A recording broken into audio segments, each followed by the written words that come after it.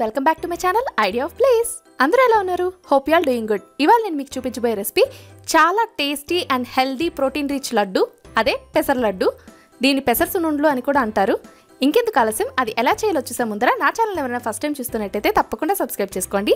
నా కంటెంట్ నచ్చినట్టయితే లైక్ చేయండి షేర్ చేయండి. Without any further due let's get started పెసర లడ్డు చేయడానికి కావాల్సిన పదార్థాలు పెసరపప్పు ఒక గ్లాసు బెల్లం తురుము ఒక గ్లాసు వన్ టీ స్పూన్ ఇలాచీ పౌడర్. డ్రై ఫ్రూట్స్ మీకు నచ్చినవి కట్ చేసి పెట్టుకోండి. కొద్దిగా నెయ్యి. ముందుగా స్టవ్ మీద ప్యాన్ పెట్టుకొని స్టవ్ ఆన్ చేసుకోవాలి. ప్యాన్ కొద్దిగా వేడయ్యాక అందులో పెసరపప్పును వేసి కలర్ చేంజ్ అయ్యేంత వరకు సిమ్లో పెట్టి వేయించుకోవాలి. ఈ పెసర లడ్డు చాలా హెల్దీ అండి. ఎందుకంటే పప్పులన్నింటిలోకి పెసరపప్పులోనే ఎక్కువ ప్రోటీన్స్ ఉంటాయన్నమాట and easy to digest. So అందుకని చిన్నపిల్లలకి పెడితే చాలా మంచిది. ఇది వేగిపోయింది కదా ఇప్పుడు స్టవ్ ఆఫ్ చేసేసి వేరే ప్లేట్లోకి తీసుకొని చల్లారబెట్టుకోవాలి ఈ లడ్డు కోసం నేను బెల్లం తీసుకున్నాను కదా కావాలంటే మీరు షుగర్ కూడా తీసుకోవచ్చు.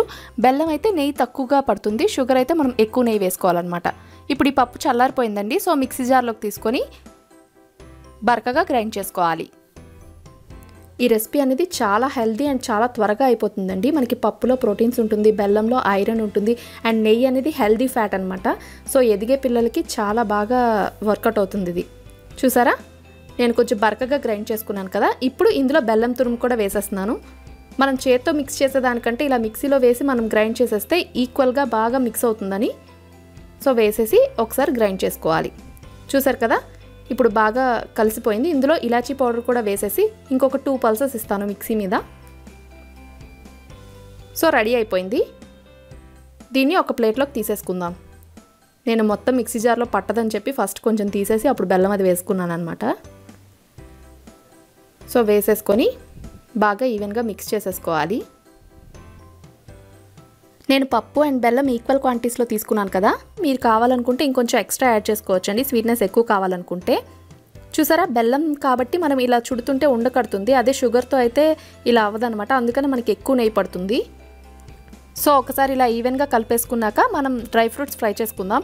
ఒక ప్యాన్ పెట్టుకొని అందులో one to two tablespoons నెయ్యి వేసుకోవాలి. నెయ్యి కొద్దిగా వేడయ్యాక ఆల్రెడీ నేను కట్ చేసి పెట్టుకున్నాను అనమాట జీడిపప్పులు బాదం పప్పు ముక్కలు. వాటిని వేసుకొని కొంచెం గోల్డెన్ ఎల్లో కలర్ వచ్చేంత వరకు ఫ్రై చేసుకోవాలన్నమాట. మీరు కావాలంటే పిస్తా కూడా యాడ్ చేసుకోవచ్చు అండి నేనైతే కాజు అండ్ బాదం తీసుకున్నాను. ఇలా ఫ్రై చేసుకున్న డ్రై ఫ్రూట్స్ని కొద్దిగా చల్లారనివ్వాలి. చల్లారాక మనం ఆల్రెడీ రెడీ చేసి పెట్టుకున్నాం కదా పిండి అందులో మనం మిక్స్ చేసేయాలన్నమాట. మొత్తం పిండిలో బాగా మిక్స్ చేసేస్తే మనకి డ్రై ఫ్రూట్స్ అనేవి ఈవెన్గా మిక్స్ అయిపోతాయి. సో బాగా మిక్స్ చేసేసుకున్నాక కరిగించిన నెయ్యి తీసుకొని ఒక సైడ్ నుంచి కొద్ది కొద్దిగా వేసుకొని లడ్డూలా చుట్టుకోవాలి. ఇక్కడ వీడియోలో చూపిస్తున్నట్టుగా. మీకు నచ్చిన సైజులో చేసుకోవచ్చు. మొత్తం ఒకేసారి చేసుకోకూడదు అనుకుంటే మీరు ఈ పొడిని ఒక ఎయిర్ టైట్ కంటైనర్లో వేసేసి ఫ్రిడ్జ్లో పెట్టుకుంటే ఎప్పుడు కావాలంటే అప్పుడు నెయ్యి వేడి చేసుకొని అప్పటికప్పుడు కలిపేసి పిల్లలకి ఇవ్వచ్చు అనమాట అంతే. హెల్దీ అండ్ టేస్టీ పెసర లడ్డు రెడీ అయిపోయింది. ఇంకెందుకు ఆలస్యం? మీరు కూడా ట్రై చేసి ఎలా కుదిరిందో నాకు కామెంట్స్లో చెప్పండి.